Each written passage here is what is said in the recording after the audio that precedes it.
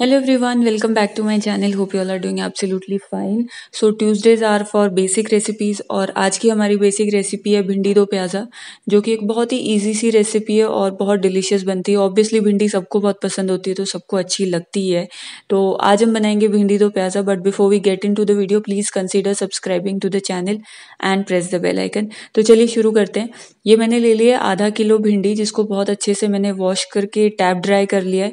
मतलब एक कपड़े से सुखा लिया है या वैसे भी आप सुखा सकते हैं अगर आपके पास एक्स्ट्रा टाइम है। लेकिन भिंडी को बिल्कुल सुखाने के बाद ही आप कट करें। अदरवाइज़ क्या होता है, वो बहुत लार सी छोड़ देती है कट करते टाइम तो उस चीज़ का आपको ध्यान रखना है। उसके बाद हम एक भिंडी लेंगे और ये देखिए, इतने लंबे लंबे हम उसके तीन पीस करेंगे। तो मैंने मीडियम साइज़ की भिंडियाँ ली हैं। इसलिए मैं उसके तीन करूँगी। बहुत ज़्यादा छोटी होती है तो क्या होता है वेस्टेज बहुत ज़्यादा होती है। क्योंकि टॉप और बॉटम दोनों हमें कट करना होता है तो उतना तो वेट ही निकल जाता है उसका। तो मीडियम साइज़ की भिंडी बेस्ट होती है। बस उसको ऊपर से नीचे दोनों टॉप और बॉटम कट करेंगे और उसके बाद इतने लंबे लंबे इसके तीन तीन पीसेस कर लेंगे। तो भिंडी का ध्यान रखिए, थोड़ी कच्ची भिंडी लीजिए। और ये सारी मैंने चॉप कर ली है। अच्छे से कट करने के बाद मैं आपको बेसिक वाले इंग्रेडिएंट्स सिखा देती हूँ। ये मैंने एक कप फाइनली चॉप किया हुआ प्याज लिया है। उसके बाद एक लार्ज साइज़ के प्याज को ऐसे कट किया है।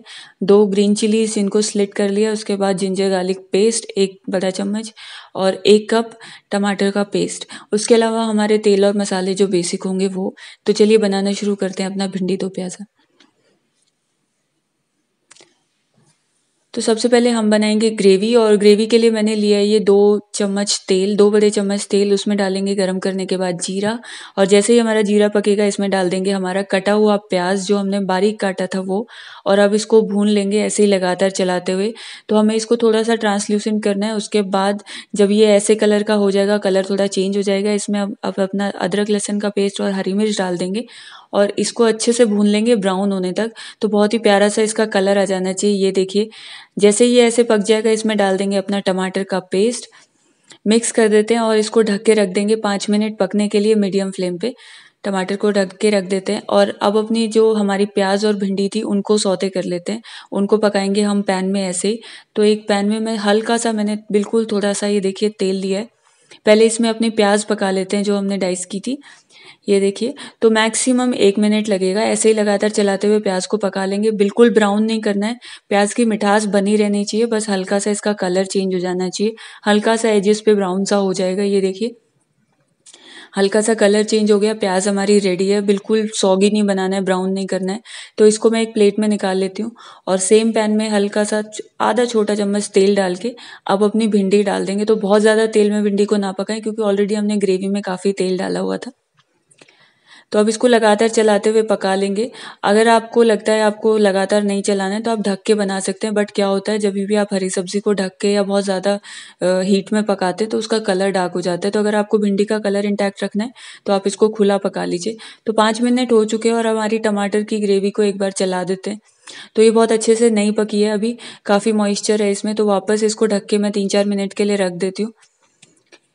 ये देखिए, चार मिनट के बाद बहुत अच्छे से इसका मॉइस्चर ख़त्म हो चुका है। शाइनी आपको दिख रहा होगा, काफ़ी शाइनी हो चुका है और तेल भी हमारा अच्छे से दिखाई दे रहा है ऊज आउट हो रहा है। अब इसमें मसाले डाल देंगे तो बिल्कुल बेसिक से मसाले हैं, नमक, धनिया पाउडर हल्दी पाउडर लाल मिर्च पाउडर और आमचूर पाउडर अगर आपके टमाटर बहुत ज़्यादा खट्टे हैं तो आमचूर पाउडर को आप स्किप कर सकते हैं। तो आमचूर पाउडर डालेंगे और इसके बाद इसको अच्छे से मिक्स कर लेते हैं। कुछ सेकेंड्स भून लेंगे मसालों को अच्छे से।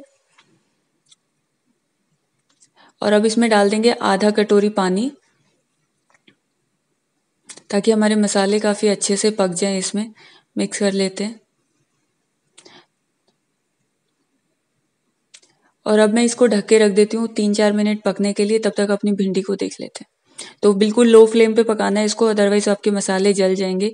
और ये देखिए भिंडी भी हमारी रेडी हो चुकी है। कच्ची भिंडी थी तो बहुत ज़्यादा टाइम नहीं लेती है। एटी नाइन्टी परसेंट ही पकाना है। हमें देखिए अच्छे से प्रेस हो रही है। सिर्फ़ इतनी पकानी है। अगर आप इसको बहुत ज़्यादा पका देंगे तो जब आप ग्रेवी में डालेंगे तो ये बिल्कुल सौगी और मैश हो जाएगी उसके अंदर। तो वो हमें नहीं करना है।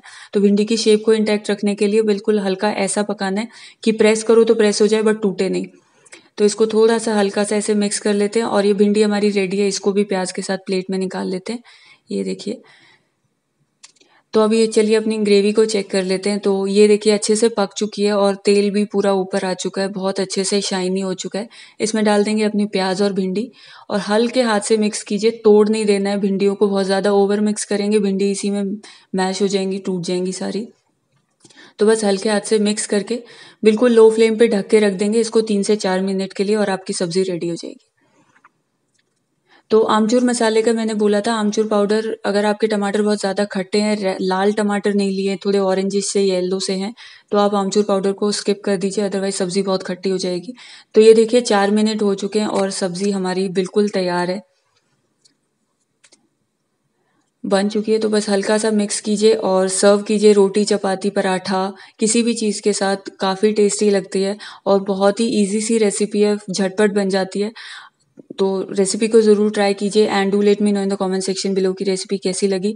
बच्चों को ज़रूर अच्छी लगेगी भिंडी की सब्ज़ी तो मिर्च वाला पार्ट आप स्किप करके बच्चों को खिला सकते हैं। हरी सब्ज़ी और काफ़ी टेस्टी भी होती है तो ज़रूर हिट होगी बच्चों के बीच में। तो रेसिपी को ज़रूर ट्राई कीजिए and do let me know in the comment section below की रेसिपी आपको कैसी लगी। वीडियो अच्छी लगी है तो please give it a thumbs up share it with your friends and family subscribe to the channel press the bell icon and you guys can also check out my Instagram page link is in the description box below see you guys super soon bye bye